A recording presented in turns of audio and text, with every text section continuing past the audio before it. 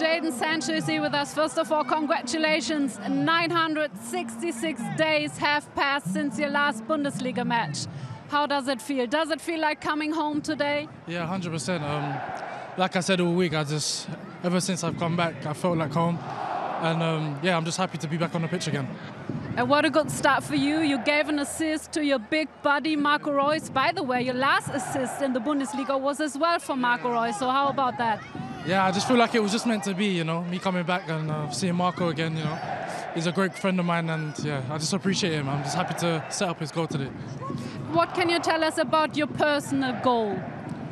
Oh, what in the Bundesliga, my pass? Just, to, just to, um, to be happy again, you know, just be back on the pitch and you know, just try help the team, you know, um, get them back in the top three, um, and obviously qualify for Champions League for next year. So again, I, I got personal goals that I'm not going to say for now, but um, I just want to help the team. And just shortly, like the first part of the season hasn't been so satisfying for the team, of course. How confident, how positive are you that Borussia Dortmund can keep up now in the second part of the season?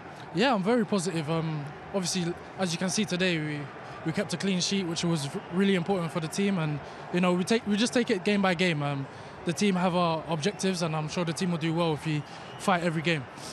Thank you so much. Good to have you back. You Bye.